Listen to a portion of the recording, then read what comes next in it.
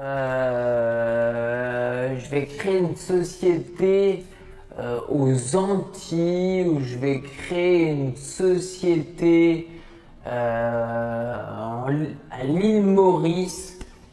Et je vais rester habité par exemple je sais pas, par exemple en Estonie où je vais rester habité dans les, je sais pas, dans les Caraïbes, peu importe. Si vous commencez à créer une boîte et que vous commencez à déménager et que vous apprenez trois mois plus tard que votre montage fiscal ne tient pas debout, eh bien vous pouvez tout recommencer et vous avez peut-être perdu des dizaines de milliers d'euros.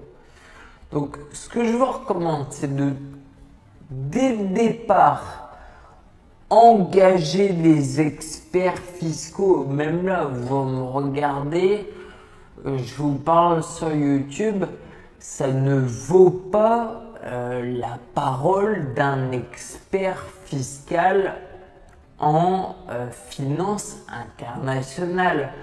Il faut vraiment avoir bah, quelqu'un qui va étudier votre cas. C'est au fur et à mesure, enfin c'est du sur-mesure. Vous ne pouvez pas simplement écouter quelqu'un sur YouTube. Vous ne pouvez pas simplement acheter une formation sur YouTube. Acheter une formation en ligne vous devez avoir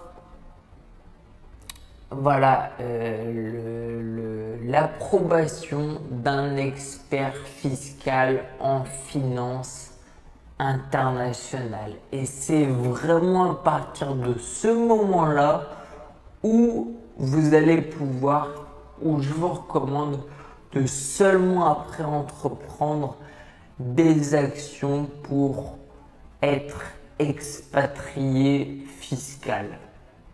Troisième conseil, engagez un comptable sérieux.